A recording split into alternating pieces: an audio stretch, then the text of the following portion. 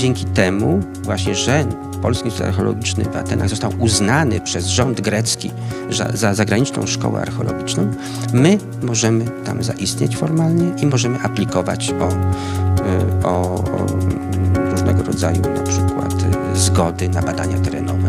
Dotychczas w związku z brakiem tego typu instytucji my byliśmy tylko podwykonawcami.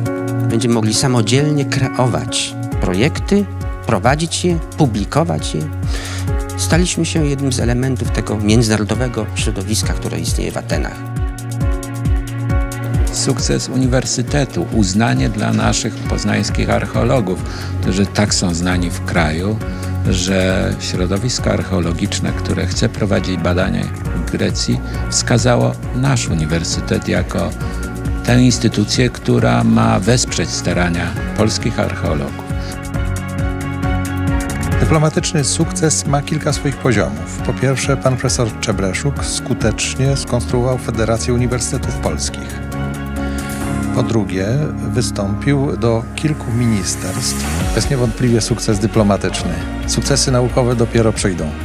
Jestem tego pewien.